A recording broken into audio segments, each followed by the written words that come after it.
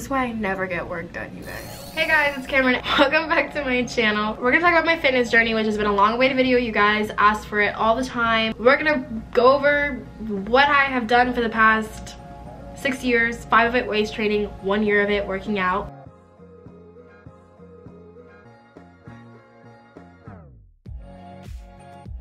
So yeah, we're gonna get started. So first things first, obviously, of course, the thing that started it all off was waist training. I bought my first waist trainer off of Amazon. I'm not gonna go into depth about all that kind of stuff because I have a million videos about it. If you go to my playlist called waist training, you can watch all of them there. I started at a 28 inch waist. I had a very boxy shape and I did start at 15. I think because I started at an early age, it obviously helps me a little bit more, but it's not like I hadn't hit puberty yet or I was gonna suddenly transform into this hourglass shape even if I didn't use a waist trainer because if I don't use my waist trainer now it will actually revert back very quickly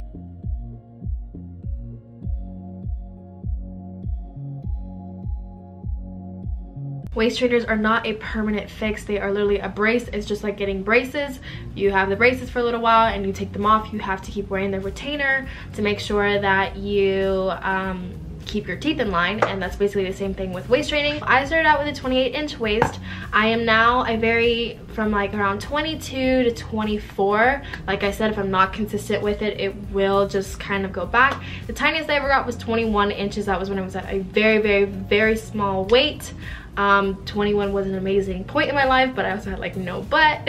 so waist training did help me bring my waistline in, but that was pretty much just about it. I waist trained for about three and a half years without ever touching the gym whatsoever. So waist training will help you reduce your waistline, but it's not going to help with anything else. My biggest problem, like even while waist training and everything, was that I had no tonage to my legs. I had very, very skinny chicken legs and I had no booty. I have wider hips, like wider kind of um, bone structure and like a fat flat pancake booty not a fat booty i wish i had a fat booty actually it always kind of gave off the illusion that i had a bigger butt but i just it was just pancake booty like there was just nothing there kind of had a very similar body shape to taylor Katie, I think is her Instagram. After like waist training, I kind of had like a bit of a better shape, but I didn't have any kind of definition or anything to my body. I was very thin. I think at one point I had gotten down to about 112 pounds. I could not put on weight for the love of my life. So around my senior year,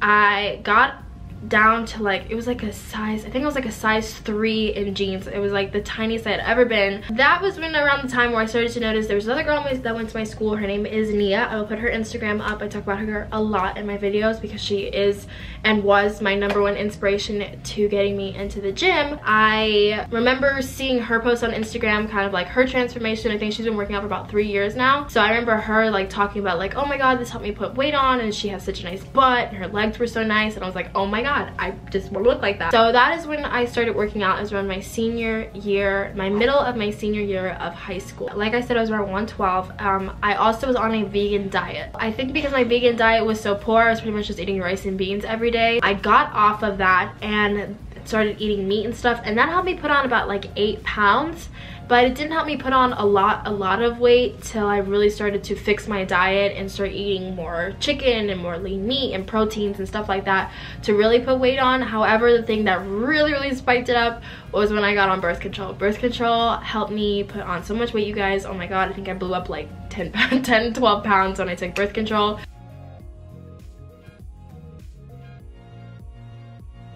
when I started working out, I had no idea what I was doing. I was going to the Y with my friend. We would go like once or twice a week, if even. I was just going there. I would do lunges a little bit. I would do some leg press. I would do like hip abductions some you know smith machine that was about it and i had no idea about workout splits i didn't know that you were supposed to not work out your legs every day i didn't know you were supposed to work out your arms so you could do better in all your workouts overall. I just really had no freaking clue what the hell I was doing. I was just showing up to the gym and barely giving my all or doing anything. The weight gain literally was just from birth control and eating better and eating more often. At that point, I was eating around four or five meals a day. I do have a whole video about how I gained weight, so you can go check that out. Not being consistent in the gym and stuff like that, I was there enough to kind of make a little bit of a difference because obviously when you're starting out with like a virgin body that's never really done anything and you're starting to lift weights a little like obviously you're gonna notice a difference. But it wasn't anything mind-blowing or mind-changing like that. When i moved for college um, last year that was when my fitness journey really began which was around last year august. It really all started when i bought the workouts by katya gym based booty guide. It was gifted to me um, just literally for my birthday because I wanted it so badly but I was like oh my god $60 like I'm not gonna buy it. But if I had known what I know now about that guide you guys like I would have bought it for $150. This guide is life-changing, especially if you are new to the gym, have no idea what you're doing. And I don't want anyone to be like, oh, she's saying this because she works with a company because I actually do work with a company now.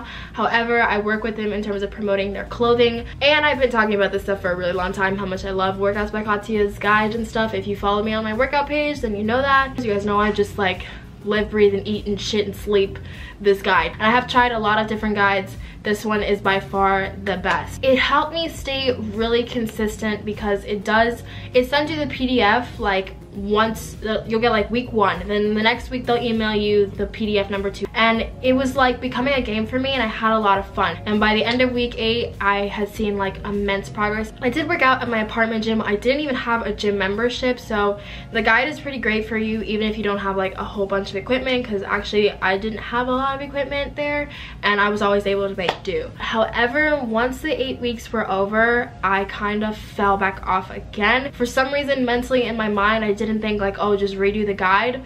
I kind of just stopped. I still had no idea about workout splits.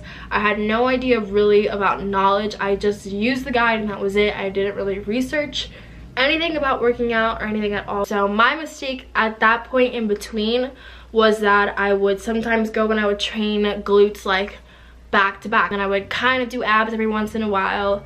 And I just didn't have any idea about like how you were supposed to train. And I way overworked my glutes. And I was like oh my god why am I not seeing progress? Like I'm losing all the gains that I made while I was on Katya. So I would kind of go back and do Katya one week. And then I just didn't was like mm, whatever. I kind of want to do something else.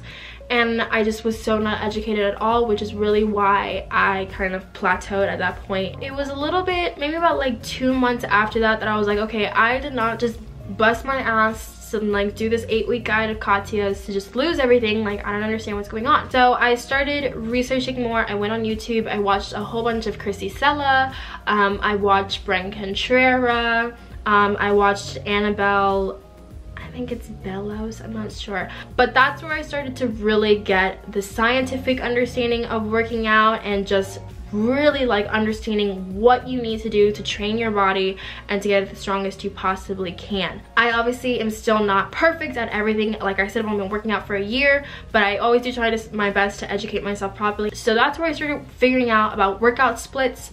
Um, I started figuring out about things that would better help me with my form, things that would better help me isolate my glutes. So I went and I purchased another i purchased two guides. I purchased elizabeth sachs guide and i purchased taylor katie's guide. Both fitness gurus i absolutely love. I think they're incredible women. However the guides did not work for me. Elizabeth sachs i never really got to try very much because it was kind of a little bit disorganized and wasn't put together in the way that i liked it so i kind of just gave up on that one. Taylor katie's guide i love the formatting of it. It is beautifully put together but for some reason my body does not respond to it very well. There's just too many reps or something or I don't know what it was but when I was doing it I really noticed the gains went down. I don't know why, I'm not exactly sure. I think it was just too many reps so it was more so toning as opposed to building and I wasn't able to max out on my weight to really stress my body. I was more so like,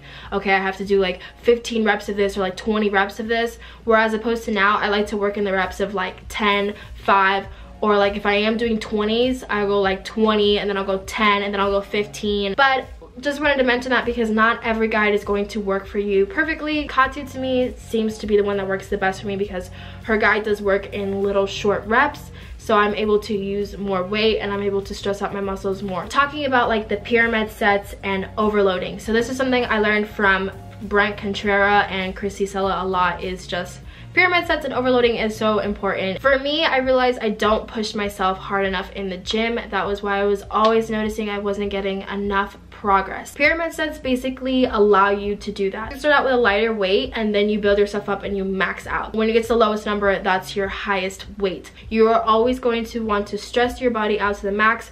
Muscles grow by tearing, so you have to just push yourself. So another thing that I figured out as well watching um, a lot of the fitness gurus is that I am quad dominant. Prior to researching and stuff like that, I had no idea about glute warm-ups.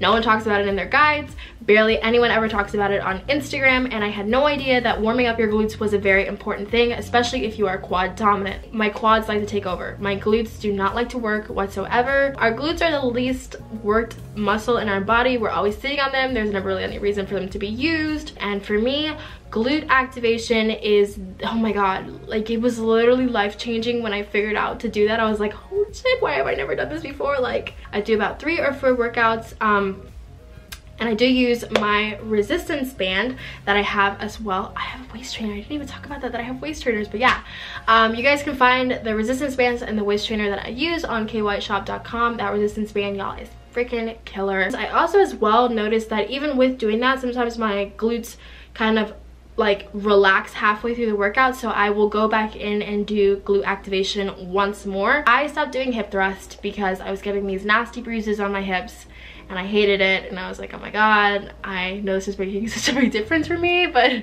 I hate them I had maxed out at like the 80 pounds that with those like little tiny barbell thingies and I just was too scared to move on to doing like the big barbell like the free weight barbell and I stopped doing hip thrusts and that's where I noticed a big decline in my body as well. Do your hip thrusts. Please do your hip thrusts. I stopped using the little pad thing because the pad thing was not enough. I got rid of the pad thing and i only use a mat that has basically helped me with the bruising and everything so if that's one of your issues just ditch the little pad thing and use the mat. Um as well brent contrera has very detailed videos about hip thrust. I am still working on my form.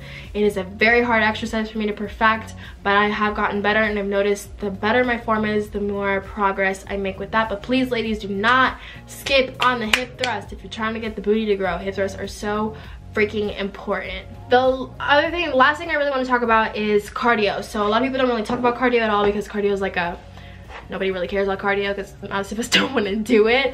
Um, I was doing HIIT workouts twice a week and that was very very hard on my body because I was doing legs three times a week and then I was doing HIIT workouts which if you don't know what HIIT workouts are they are high intensity interval training. HIIT workouts are very very good if you're trying to maintain muscle and not lose so much weight.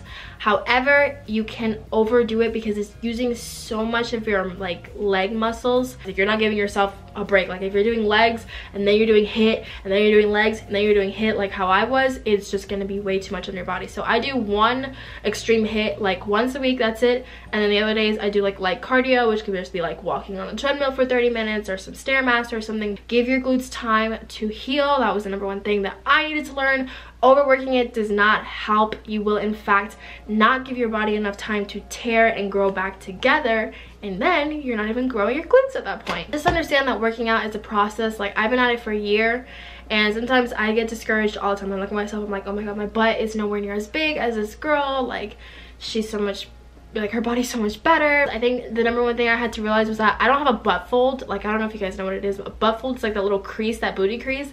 That thing makes everyone's butt look 10 times bigger and i don't have that. That's just how things are. Like i had to learn to stop comparing my body to other people and just get on my own journey.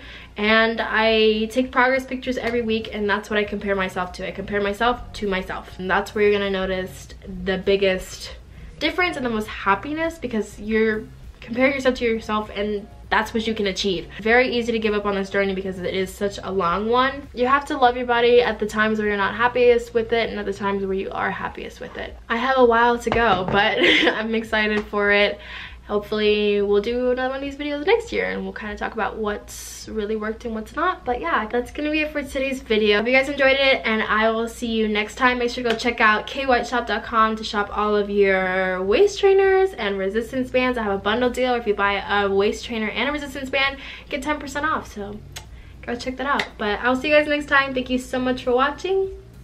Bye